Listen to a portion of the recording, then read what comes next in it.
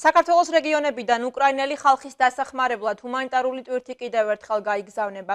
ტვირთის შეგროვების პროცესში სახელმწიფო უწყებებთან ერთად ჩართულია ბიზნესი და სამოქალაქო სექტორი.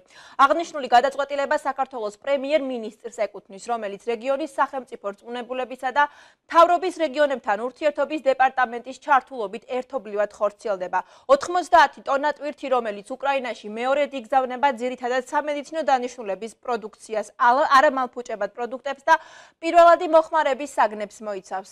ამ ეტაპზე თბილისში საქართველოს პოსტის ტერმინალში აღმოსავლეთ საქართველოს რეგიონებში მობილიზებული ტვირთის თავმოყრა მოხდა, რომელიც სატვირთო ავტომობილებში ჩაიტვირთება და უკრაინაში სახმელეთო შესაბამისი პროცედურების გავლის შემდეგ გაიგზავნება.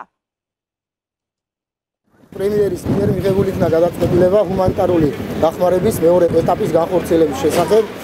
და რის შედეგადაც საქართველოს რეგიონებში კვლავ იქნა შეგროვებული ჰუმანიტარული დახმარების ერთი პოსტის ტერმინალში ხდება აღმოსავლეთ საქართველოს რეგიონებიდან მოტანილი ტიპის მობილიზება, რომელსაც საქართველოს პოსტა გააგზავნის უკრაინაში მეგობარი ხალხის დასახმარებლად. აფხაზის მთავრობა და უმაღლესი საბჭო ჩვენ ჩავერთეთ უკრაინის ხალხის ხარდაჭერისთვის და ამ აქციის სოლიდარობის აქციის პარკლებში ჩვენ უკრაინაში საქართველოს პოსტას მეშვეობით ჩვენ ვაგზავნით იმპლის რომელიც მოიცავს სამედიცინო პირველად საშუალებებს ბავშვებისთვის კვების და ასევე ჰიგიენურ საშუალებებს.